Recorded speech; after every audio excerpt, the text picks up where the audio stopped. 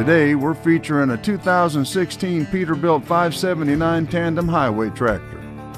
This unit comes fully loaded with an 80 inch high roof sleeper cab with double bunk and a fridge. With power windows, power door locks, and power mirrors, plus AM, FM, CD radio with GPS navigation. Includes a smart steering wheel and a power inverter.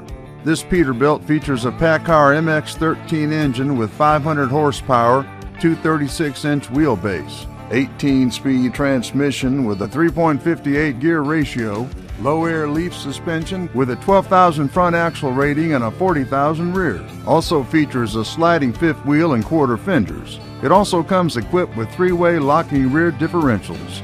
This Peterbilt has 580,000 miles on it and is work ready for the highway. For more heavy equipment trucks like this, check out our complete inventory at internationalmachinery.com. Don't forget to like and subscribe to our channel for more heavy spec truck reviews and features. Follow us on Instagram and Facebook for more at International Machinery.